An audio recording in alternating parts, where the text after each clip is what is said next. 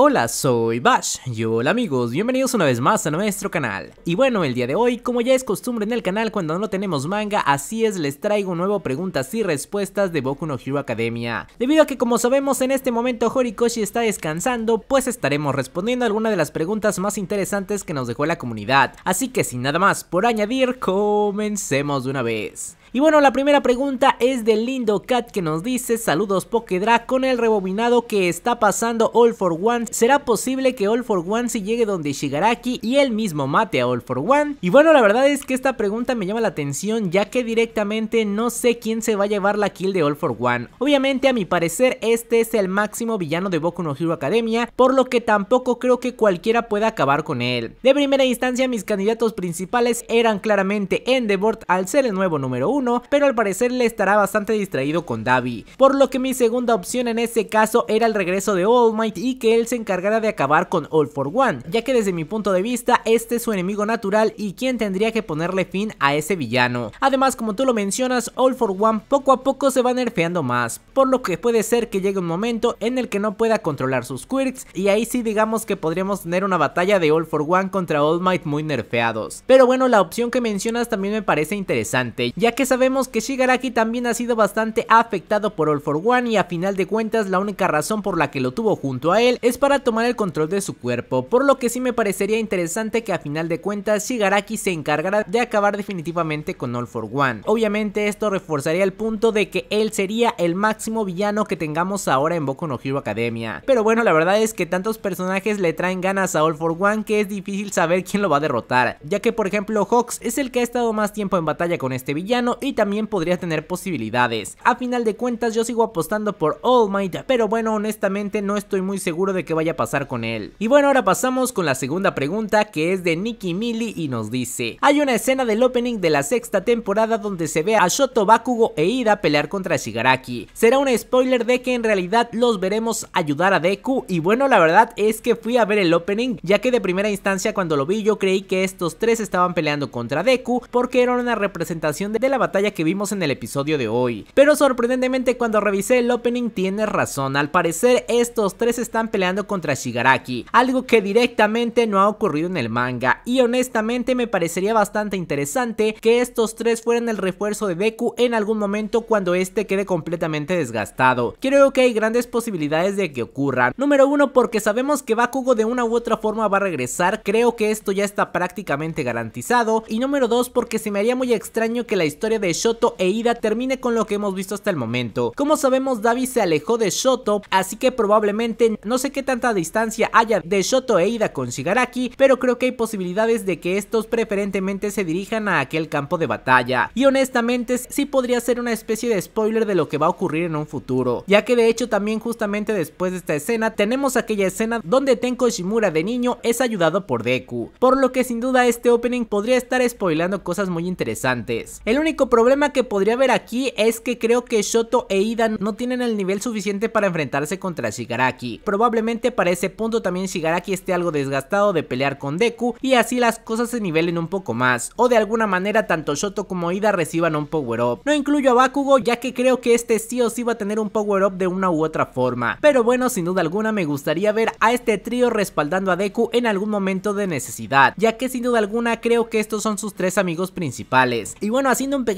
paréntesis de todo esto, la verdad es que les recomiendo ver el último capítulo que se ha estrenado del anime de Boku no Hero. Yo lo acabo de ver y sin duda alguna ha sido el mejor episodio de la temporada. Lo disfruté muchísimo, la animación espectacular y la historia que nos cuenta increíble. La verdad es que lo recomiendo al 100%. Pero bueno, pasamos ahora con la tercera pregunta que es de Aldo Lobato y nos dice ¿Qué hay Pokedra? Tengo dos preguntas. Número uno, ¿crees que Uraraka llegue a morir pero evangelice a Toga e incluso le ayude a perfeccionar el don de Twice para copiar los poderes de quien ella quiera? Bueno, la verdad es que casi apuesto lo que sea a que Uraraka no va a morir. Creo que hay varios candidatos a morir, pero Uraraka no está entre ellos. Por otro lado, hablando con respecto a la evangelización de Toga, eso sí lo veo bastante probable. De hecho, en el último capítulo se nos mostró algunas señales de que esto podría ocurrir, ya que Toga se dio cuenta que realmente no ama a sus compañeros de la Liga de Villanos, al único que realmente quería era a Twice. Además de que el propio Twice no siente la necesidad de venganza absoluta contra los héroes, lo que él siempre quiso era proteger a sus compañeros. Pero bueno, sin duda alguna creo que Uraraka va a tener mucho que ver con lo que le pase a Toga al final, y si es posible que incluso lleguemos a ver a una Toga que se pone en contra de los villanos. Pero bueno, ya veremos qué sucede con ella. Y por otro lado, Aldo nos dice, ¿qué crees que haya pasado con Mina y Mineta en el escenario de Gigantomaquia? Y el que desvivió a Midnight, ¿crees que estén muertos o que se hayan quedado a vengar a Midnight? Y bueno, por ahora todavía no sabemos cuántos personajes van encima de Gigantomaquia, obviamente a pesar de que solo vimos a Shinzo y Kirishima, creo que hay otros personajes que también pueden ir ahí, o que pudieron estar involucrados en el combate. De primera instancia yo ya lo dije, aquel que asesinó a Midnight era directamente de Mineta, creo que él tendría que ser el encargado de derrotarlo, ese es un duelo que sí o sí tenemos que ver. Por otro lado en el caso de Mina, a pesar de que creo que ella también tendría el sentimiento de venganza contra el asesino de Midnight, creo que realmente su objetivo o su reivindicación es contra Gigantomaquia, ya como sabemos Mina tuvo un trauma con este ser y no lo pudo reponer incluso en la guerra anterior, por lo que muy probablemente en este combate final le hayan dado a Mina algún momento importante para enfrentar a Gigantomaquia y vencer sus miedos finalmente. Pero sin duda yo creo que cuando regrese el manga tendremos que ver algún flashback de lo que ocurrió en este campo de batalla, que sin duda alguna es de los más interesantes. Y bueno, pasamos ahora con la cuarta pregunta que es de Redfire 1214 y nos dice Hola Pokedra, un saludo, tengo dos preguntas. Número uno, ¿qué tipo de power up tendrá Bakugo cuando regrese? Si otro de velocidad o uno en sus explosiones. Y bueno, la verdad es que como lo dije, creo que todos estamos de acuerdo en que Bakugo va a tener un power up. Ahora la pregunta es ¿cuál? Yo creo que sí de primera instancia podría ser un aumento en su velocidad, ya que independientemente del poder que llegue a tener Bakugo, creo que si tiene más velocidad, por lo menos podrá aguantar más en el combate. Ya que a pesar de que pudieran aumentar el poder de las explosiones de Bakugo, recordemos que Shigaraki enfrentó misiles nucleares, por lo que no estoy seguro que las explosiones sean la respuesta para enfrentar a Shigaraki. Y bueno, por otro lado también nos pregunta, ¿crees que al final de la batalla contra Shigaraki Deku desarrolle algún tipo de Ultimate Smash? Y la verdad es que yo creo que sí. A mi parecer la respuesta para acabar con un Shigaraki que tiene super regeneración es derrotarlo de un solo golpe, por lo que a mi parecer podríamos ver a un Deku atacando a máxima potencia. ¿Cómo sería esto? A mi parecer sería con el One for All al 100% de la capacidad de Deku, sumando Fajin acumulado a su máxima potencia y multiplicándolo con la velocidad de Overdrive. Probablemente el látigo negro podría servir para contener el cuerpo de Deku y que no se destroce con tanta potencia, pero básicamente yo creo que en algún momento sí podríamos ver un Smash a máxima potencia. Ahora el nombre de este Smash no estoy muy seguro de cómo se llame, ya que creo que la última película ya utilizó el World Smash, así que tal vez pueda decir Universe Smash o algún otro nombre. Déjenme en los comentarios qué nombre le pondrían al Smash definitivo de Deku. Pero bueno, ahora pasamos con la quinta pregunta que es de Rosby Lozano y nos dice ¿Crees que al final si Deku vence a Shigaraki muere All for One, pierde su don? Deku también perdería el One for All ya que vino de All for One y bueno la verdad es que no lo había pensado directamente pero a mi parecer podría tener sentido que si All for One es asesinado y el don de All for One desaparece probablemente las almas o los dones de todos regresen a su portador original o al alma que les pertenece. En este caso básicamente todos los portadores de Deku también tendrían que desaparecer e ir a donde les corresponde. Probablemente Deku sí podría quedarse tal vez con el One for All en sí como un regalo de los portadores o algo por el estilo o también regresar a no tener ningún don. Ya que a mi parecer algo que es bastante importante es que a final de cuentas van a transmitir a nivel mundial la hazaña de Deku. Por lo que independientemente de que Deku perdiera su quirk creo que ya sería considerado como el héroe más grande de todo el mundo. Ya que recordaremos que Shigaraki prácticamente estaba a punto de doblegar naciones. Así que el acto que va a hacer Deku a final de cuentas será para salvar el mundo. Pero bueno, ahora pasamos con la sexta pregunta que es de rollo 16 y nos dice, ¿crees que estamos más cerca del regreso de Overhaul al campo de batalla? Un saludo. Y bueno, la verdad es que sin duda alguna ustedes saben que Overhaul es uno de mis candidatos principales a regresar al campo de batalla. Y también estoy consciente que hay muchos que creen que es imposible que este regrese. Pero básicamente hay que ver las pistas que Horikoshi nos puso en el camino. Honestamente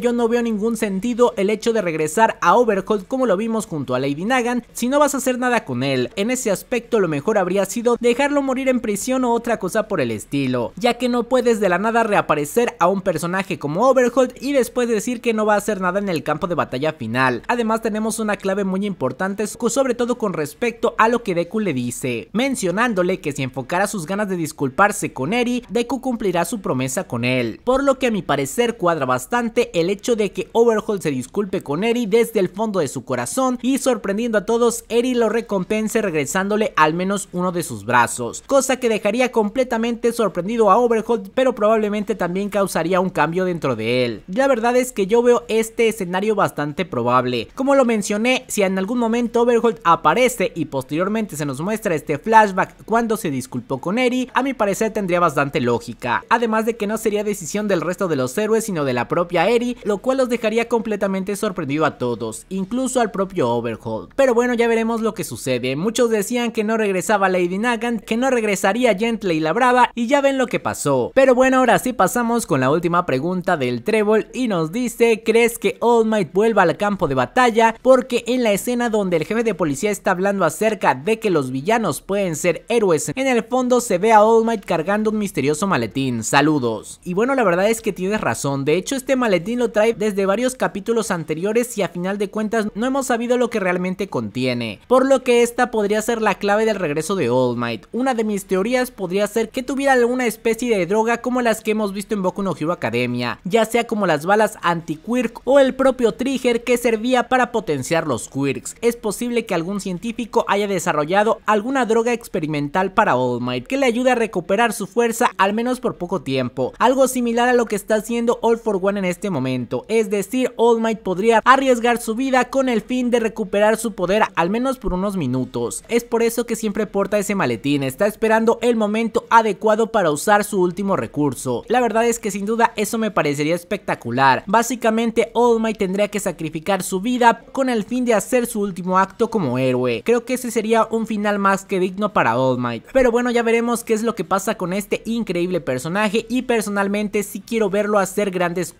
Y de esta manera hemos terminado el video, me encantaría que me dejen su opinión y teorías en los comentarios. Y antes de despedirme quiero agradecer a todos los miembros del canal que siempre nos están apoyando. Y muchas gracias a Junito Furcal, Edgar Iván García, Leandro Valencia, Alex Pilo, Emanuel Castro, John Charlie, Cisneros Beat, Benja López, Alcojo Gamers, Ernesto Albornoz, Rain505, Rodrigo García, Fanny Morales y Jonathan B. Y ahora sí, sin nada más por añadir, adiós. 지금